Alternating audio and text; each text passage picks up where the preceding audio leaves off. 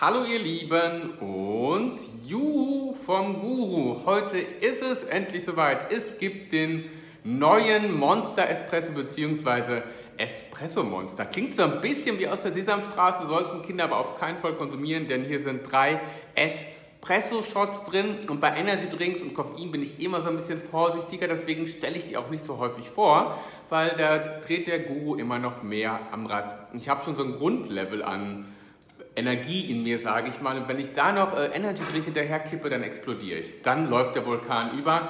Kaffee trinke ich aber trotzdem ganz lecker. Der wirkt bei mir auch ziemlich stark, aber geht auch schnell wieder weg. Deswegen bin ich so ein äh, leichter Kaffee-Junkie. Und deswegen teste ich auch ganz gerne die Espresso-Monster, weil das ja auch mit Kaffee ist. Es sind drei Espresso-Shots hier. In jeder Dose sind drei Stück drin.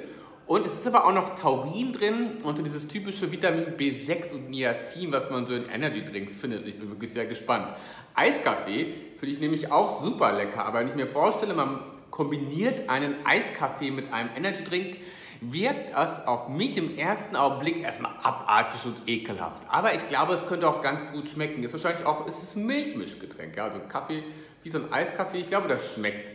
Ich bin gespannt, hat Taurin eigentlich einen Geschmack? Bei Taurin denkt man halt immer an Red Bull und dann diese extreme Gummibärensüße und das könnte ich mir auch nicht mit Kaffee vorstellen, aber schauen wir mal. Ich habe jetzt auf jeden Fall Bock, die mit euch zu testen. Es ist Mittagspause.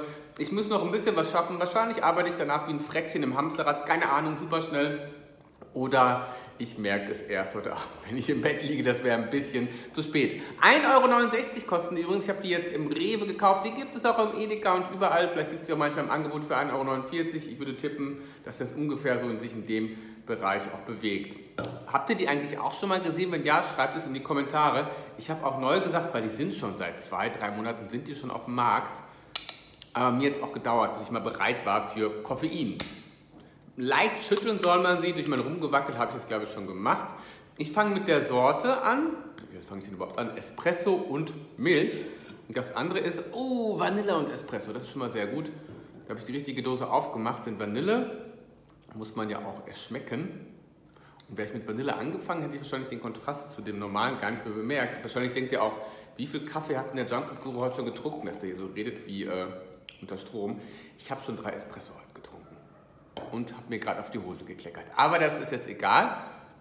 Wir wollen uns erstmal nach dem Gesch Geschmack beurteilen. Riecht ganz lecker, wie so ein Dosenkaffee. Ich mag ja auch Mr. Brown als Dosenkaffee. Schmeckt etwas dünner als Mr. Braun, auf jeden Fall, aber schmeckt lecker. Schmeckt richtig gut.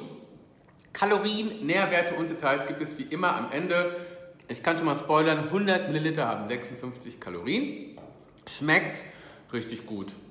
Also wenn ich Bock habe auf einen Kaffee und es gibt nirgendwo einen heißen Kaffee im Sommer, würde ich mir den nochmal kaufen.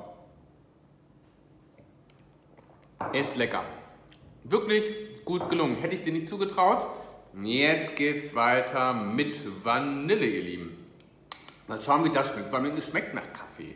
Dass da Taurin drin ist oder das andere, hätte ich so nicht rausgeschmeckt. Ist auch, was auch wirklich gut ist, ja. Jetzt kommen wir zu Vanille.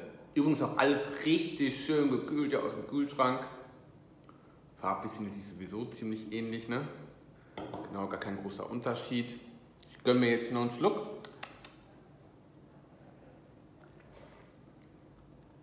Noch ein bisschen süßer die Vanille, aber mh. Hm. Nicht so geil wie erwartet. Hätte gedacht, dass eine Vanille viel, viel besser schmeckt.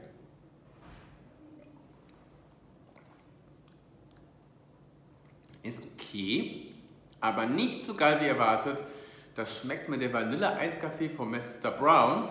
Schmeckt mir besser, muss ich sagen. Also den Triple Shop, den würde ich mit Vanille äh, 7 Punkte geben. Der Vanille hat für mich viel mehr Potenzial. Aber den normalen hier, Espresso und Milch, der bekommt von mir 8 Punkte. Ist wirklich lecker, ist ganz solide, schmeckt gut, ist gut gelungen. Hätte ich nicht gedacht. Hier oben könnt ihr den Kanal abonnieren, Daumen nach oben und wir sehen uns im nächsten Video wieder, ihr Lieben. Tschüss!